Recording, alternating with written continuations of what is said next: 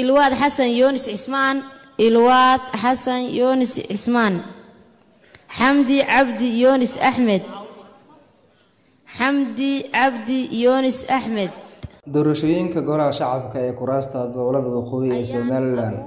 oo ka socotay magaalada muqdisho ee caasimada dalka hooyo ayaa maanta lagu doortay shan xildhibaan oo ka mid ah shan xildhibaan oo ka mid noqonaya xildhibaanada koow iyo tobanaad ee baarlamaanka jamhuuriyadda federaalk soomaaliya doorashadan oo ahayd mid ay ka qayb galeen dhammaan musharaxiinta u tartamaysay kuraasta halkaasi lagu dooranayay ayaa ugu dambeyn waxaa kuraastaasi ku soo baxay shan musharax oo qaarkoodba ay ku jireen xildhibaano horey ugu mid ahaa baarlamaanka tobanaad ee jamhuuriyadda federaalk soomaaliya.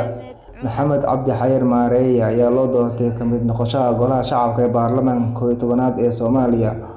waxa uuna ka guuleystay musharax kale ee la tartamayey aamin cumar jaamac ayaa ku guuleystay kursiga tirsigiisu yahay hob laba boqol iyo labo ee golaha shacabka jamhuuriyadda federaalk soomaaliya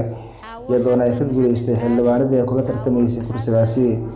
Faadimo xasan cali ayaa ku guuleystay kursiga tirsigiisu yahay hob laba boqol iyo toban ee golaha shacabka jamhuuriyadda federaalk soomaaliya kadib markii ay ka tanaasusay doorashada hoodo cabdi xaashi oo la tartamaysay faadimo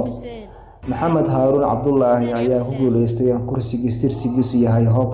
sideed ee golaha shacabka jamhuuriyadda federaalk soomaaliya isagoona kaga guuleystay axmed cali maxamuud oo la tartamayey axmed cismaan diiriya ayaa ku guuleystay kursiga tirsigiisu yahay saddex ee golaha shacabka jamhuuriyadda federaalk soomaaliya isagoona kaga guuleystay tartanka dayib cabdulqaadir jaamac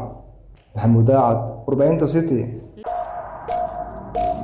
waad ku mahadsan tahay daawashadaada inaad nagu soo biirto wax lacaga kaagama baxayso. Keliya waxaad u baahan tahay inaad falow saarto boggeenna facebook ama aad sabskraib dhahdo janaalkeenna youtube adigoo u bartilmaamaydsanaya city somaali t v an rediyo la jaanqaad warbaahinteenna oo hel warar iyo barnaamijyo adiga kaa hadlaya